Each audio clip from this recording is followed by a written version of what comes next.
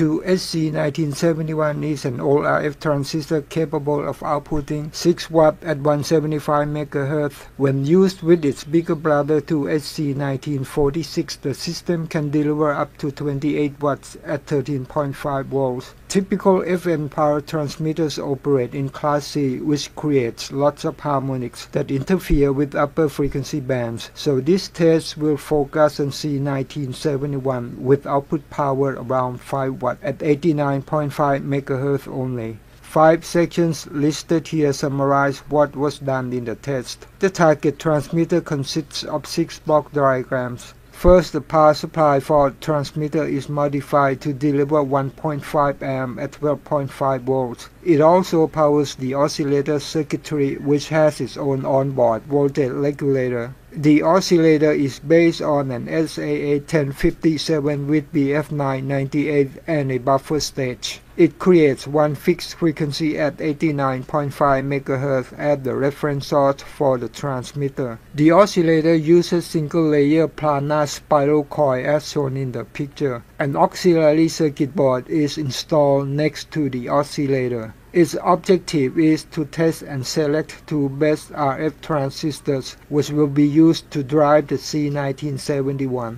Here, several RF transistors from different sources are tested to observe their current gain and RF driving capability. The two best transistors from this test will be used for the pre-driver Q1 and the driver Q2. Q1 bias in saturation region acts as a switch to drive Q2, which is in class C. Current readings for both transistors are observed. During the test, Q1 and its resistive collector load are replaced several times to observe collector current. This graph shows results from such test. At the end of the test, Q1 and Q2 are selected with some specific learnings as shown. The two RF transistors that passed the test are reinstalled on the target transmitter board. Apparently Q1 delivers close to 200 mW to drive Q2, which then amplifies this power to 1 watt to drive Q3.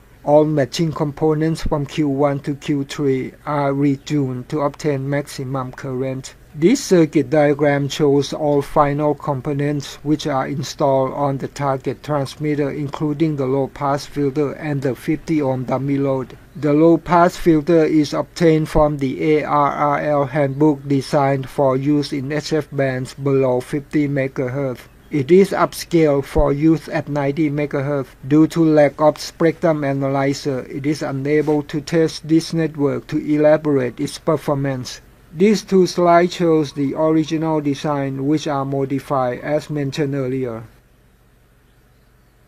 All coils are made from inner conductor of typical TV antenna coaxial cable. They are quick fix but perform well. These coils, regardless of the number of turns, are air core with inner diameter of 6 mm. Each transistor has its own RF suppression circuit to eliminate noise from the circuit. Suppression coils are made differently as an example, so everyone can build one from their imagination. During the test, the dummy load is kept away from metal parts and concrete floor to avoid undesirable SWR effect. All transistors generate heat after 10 minutes of continuous operation, and Q3 will suffer the most without adequate ventilation.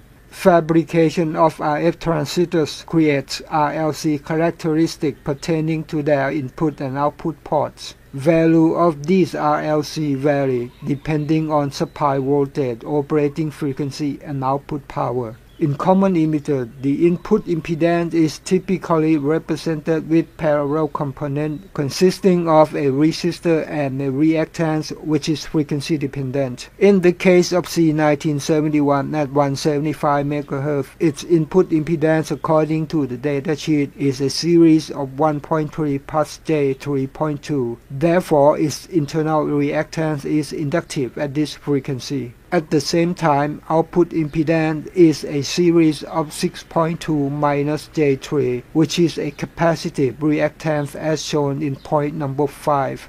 At 89.5 MHz, the target transmitter operates with component values and current rating as shown here. The dummy load is connected to Q3 across a Chebyshev low-pass filter with impedance of 50 ohm at both ends. Dummy load can be connected without low-pass filter if C1 and C2 are tuned to establish a reasonable match. Impedance transformation can also be done using parallel tuned tank circuit, although this is not a popular choice. Instead, the pi and the L matching are more popular, especially the modified L that has been re-engineered to split into two sections composing of a series tuned L and a conventional pi. Component calculation starts with series tuned L section to obtain LA, CX, and RX. Once these values are obtained, the components for pi section are calculated using CX and RX as a starting point.